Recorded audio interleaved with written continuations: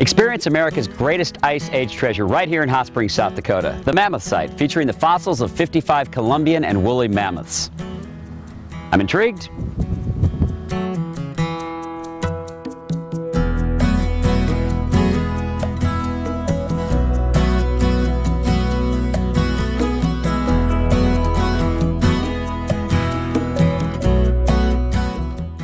I'm with the chief investigator here at the Mammoth Site, Dr. Agenbroad, who has been here since the beginnings. Take us back to 1974. What happened and how did you guys find this? Okay, there was a local contractor named Phil Anderson.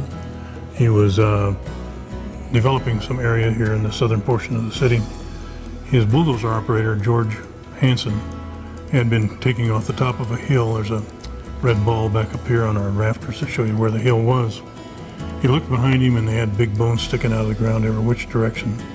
He called Phil, and Phil said, "This may be important. Let's see if somebody wants to get involved." Just, just maybe. so let me ask you a very basic question. In the literature, it says over 55, which now you've just discovered some more this summer, but it says 55 Columbian and woolly mammoths. 55 Columbian and woolly, but uh, three of them are woolies, and the rest of them are Columbian. What does that mean? That means that we've got the Arctic version of the mammoth and the temperate version of the mammoth, So which is which is Arctic? the uh, woolly. The woolly, okay.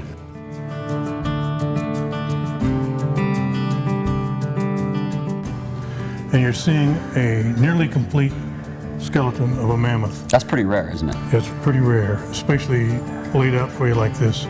Entire vertebral, vertebral column, pelvis, hind legs still attached, shoulder blades, front legs, right up to the first neck vertebra. So why do you think this site out of Hot Springs? I mean, why why are there so many fossils right here? Any I think, ideas? I think it was a good geologic, hydrologic, natural trap, and it's selective for behavior of young male mammoths, uh, which is a little bit almost embarrassingly too close to uh, our own species' young male behavior. They're getting into dumb places, and this one they couldn't get out.